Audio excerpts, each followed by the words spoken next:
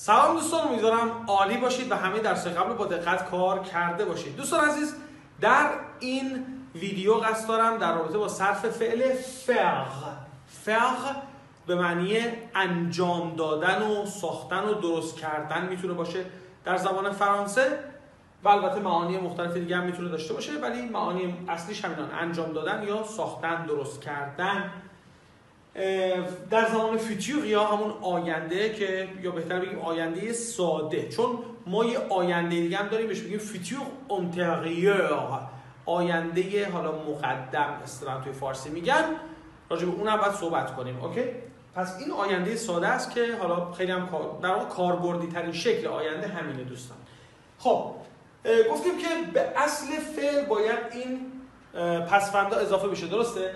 اما فقه هم از اونجایی که یک فعل کاملا بیقاعده است دوستان باز هم اتفاقی که میفته اینه که فقه تبدیل به فوق میشه. یعنی شکلش کلا عوض شد. ولی پسفندا ثابتن همین پسفندا رو اضافه می‌کنیم به چی؟ به فوق. Je ferai. ها؟ Je ferai یا ferai. به این صورت. تلفظ میشه tu feras. Tu feras. به این صورت. Tu feras یا feras. Il یا elle fera. Il یا elle fera. Nous ferons. Nous ferons.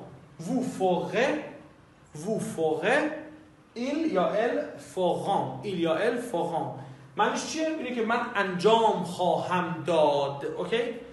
مثلا من میگم سو پروژه من این پروژه را انجام خواهم داد جفره یا همون جفره سو پروژه این پروژه ها من این پروژه رو انجام خواهم داد. پس je ferai tu feras il fera یا elle fera nous ferons nous ferons vous ferez vous ferez il یا elle feront. خواهش می‌کنم دوستان حتما باز هم تکرار کنید.